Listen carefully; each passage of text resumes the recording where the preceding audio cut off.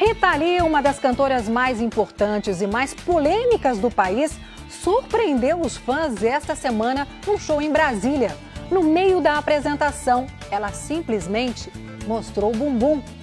Essa semana também, Rita Lee precisou prestar depoimento em Aracaju, no processo em que foi acusada de ofender policiais militares. Afinal, o que acontece com a nossa vovó do rock? Me cansei de lero lero. 64 anos de puro rock and roll.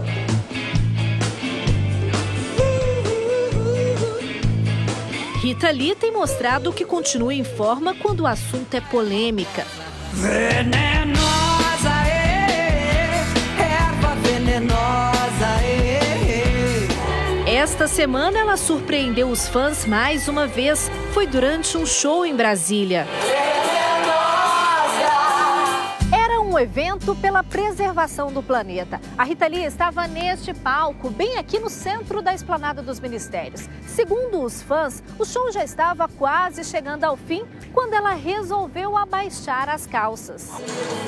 As imagens gravadas por um fã mostram o que aconteceu. Rita Lee abre o zíper, vira de costas para a plateia, dança e em seguida abaixa as calças cantora sobe as calças e agradece a plateia.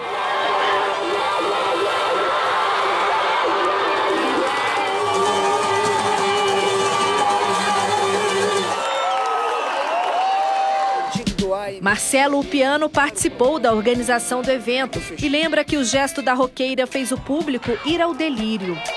Na hora que ela, é, ela demonstrou que ia ter aquela atitude, as pessoas entraram em êxtase. Helenice é fã da cantora, estava no show e viu tudo. Foi só uma brincadeira, total. E o público? Amor. Vibrou, aplaudiu, gritou, pulou, foi uma alegria.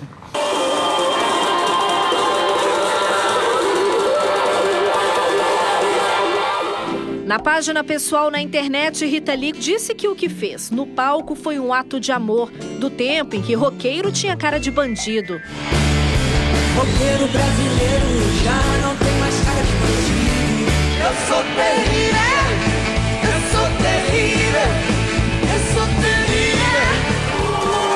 Essa não foi a primeira aparição reveladora de Rita Lee. No começo do ano, durante um show em Saquarema, no Rio de Janeiro, a roqueira repetiu o mesmo gesto. Mas o que será que os fãs de Rita Lee acharam? Eu acho que é meio desnecessário. Se o público dela curtiu, bateu palma, eu acho que tá, é válido. É Rita Lee, né? Por ela ser artista, acho que foi uma coisa muito vulgar, né? Acho que ela pode mostrar o que ela quiser. Na verdade, quanto mais velho, mais você pode mostrar, porque está velho, então daí. José Flávio Júnior é editor de uma revista especializada no mundo da música. Para ele, o que aconteceu fez parte do show. Um ato desse de rebeldia, entre aspas, tem tudo a ver com o que ela apresentou artisticamente a carreira inteira dela. Não, não deveria surpreender ninguém ela fazer uma, uma brincadeira dessas. Deus me proteja sua inveja. Rita Lee influenciou e muita música brasileira, inspirou toda uma geração.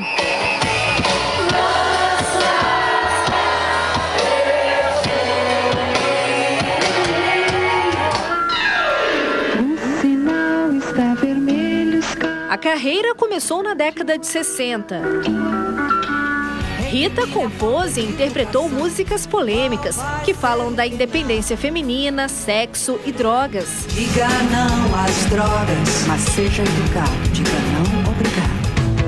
Pouco milho pra muito bico. Se tornou a cantora brasileira que mais vendeu discos, 65 milhões de cópias. Eu vou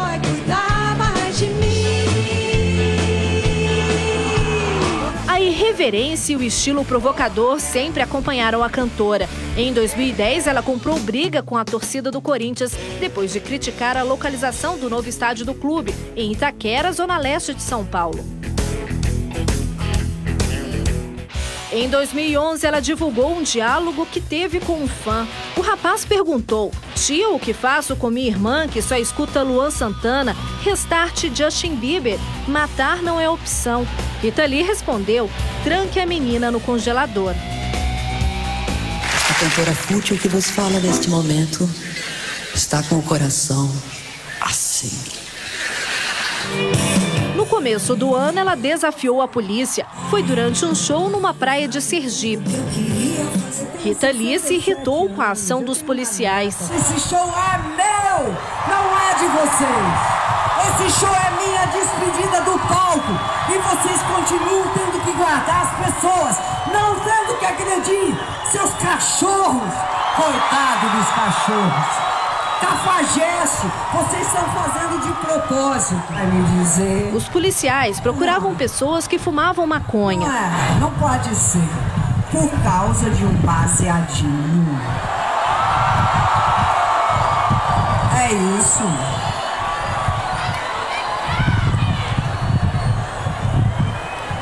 Cadê o baseadinho pra eu fumar aqui agora? Quando os PMs chegaram mais perto do palco, a roqueira se exaltou. É As pessoas estão esperando eu cantar. Não é a gracinha de vocês. Seus filhos da p... agora vem me prender. No final do show, Rita Lee foi levada para a delegacia. Ela prestou depoimento e foi liberada. A discussão gerou uma ação na justiça. Cadê o baseadinho para fumar aqui agora? Na última quinta-feira, Rita Lee e os policiais militares ofendidos foram a uma audiência de conciliação no Fórum de Aracaju. Um dia antes, a cantora escreveu na internet sobre a viagem. A bruxa caminha serena para a fogueira da Inquisição. A vaca profana se encaminha para o matadouro dos canalhas. Rita Lee ainda publicou a imagem de uma boneca que representava a própria cantora sendo enforcada. Seus cachorros! 33 PMs pedem indenização de R$ 24.880 cada um por danos morais. Pode ser. A cantora Rita Lee se sentiu incomodada com a presença desses policiais militares que estavam só fazendo o trabalho deles, que é um trabalho constitucional, garantir a ordem pública. Segundo o advogado da cantora, Rita Lee se dispôs a assinar um documento onde reconheceria que se exaltou e a PM, por sua vez, teria que reconhecer a ação truculenta contra os fãs. Como eh, os policiais resolveram não reconhecer esse excesso em razão do fato de que poderiam ser processados administrativamente, então o acordo não foi possível. Para o comandante da polícia, no dia do show não há possibilidade de acordo. Isso aí não é proposta, isso é moralidade. Chega a ser é, inconcebível e chegar nesse momento para o pessoal, momento de conciliação, ela vir com uma proposta dessa. Na saída do fórum, Rita Lee evitou dar detalhes. Como é que foi a sua defesa? O que, que a senhora levou? O que aconteceu que realmente eu vim esclarecer ah, aquele episódio ah, de truculência contra meus fãs, contra o público de Aracaju e que eu fiquei feliz de poder esclarecer isso. O show é meu, não é de vocês. Esse show é minha despedida do palco e vocês continuam tendo que guardar as pessoas, não tendo que agredir seus cachorros. Coitado dos cachorros. A sentença sobre o caso deve sair nos próximos meses, mas pelo visto muitas pedras vão rolar. Afinal de contas, Rita Lee é desse tal de rock and roll. Roqueiro brasileiro já não tem mais cara de bandido. Vou botar fogo nesse asilo, respeite minha.